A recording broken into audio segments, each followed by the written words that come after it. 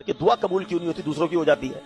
अल्लाह के हबीब अलैहिस्सलाम फरमाते, जब कोई फासिक, हदीस का मजमून, जब कोई फासिक, फाजिर, काफिर, अल्लाह से दुआ माँगता है तो अल्लाह फरिश्तों से फरमाता है, इसका काम जल्दी कर दो।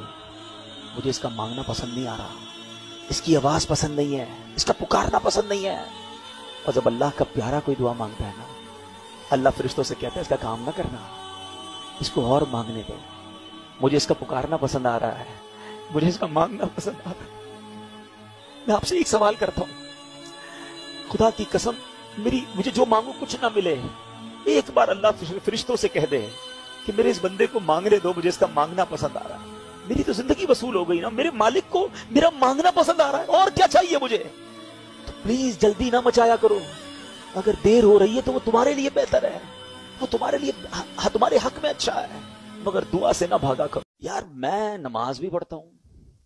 रोज़े भी रखता हूँ, तिलावत भी करता हूँ, है? कुछ लोग तहजद भी माशाल्लाह पढ़ते हैं, हज भी किए, उम्रे भी किए, मेरे काम बनते नहीं, मैं मांगू तो मिलता नहीं, मेरा एक दोस्त है, एक वक्त की नमाज़ पढ़ता नहीं, सारे काम उसके उल्टे, मगर उसके सारे काम सीधे हो रहे हैं, कारोबार भी तरक्की, है? उसकी तो जनाब कारोबार में भी मसला कोई नहीं, मेरी सेहत ठीक नहीं होती, उसको होता ही कुछ नहीं है, ये क्या मसला है?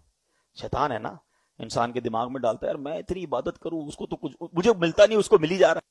गैर मुस्लिमों को देख के भी कुछ लोग कह रहे होते हैं ना, कि यार देखो उनको कितना मिला है, वो कितना खुश हैं, उनको पुरसकून भी है और उनकी जनाब बागात भी हैं तो मौसम भी अच्छा चेहरे भी अच्छे, सारा ही अच्छा ही अच्छा है। तो इससे इसके लिए काफिरों के लिए तो एक हदीस सुन लो। उसका मजमून यह है कि दुनिया मोमिन के लिए कैद खाना है, काफिर के लिए जन्नत है। और आखिरत में इनशाला मोमिन के लिए जन्नत होगी, काफिर के लिए कैद खाना होगा।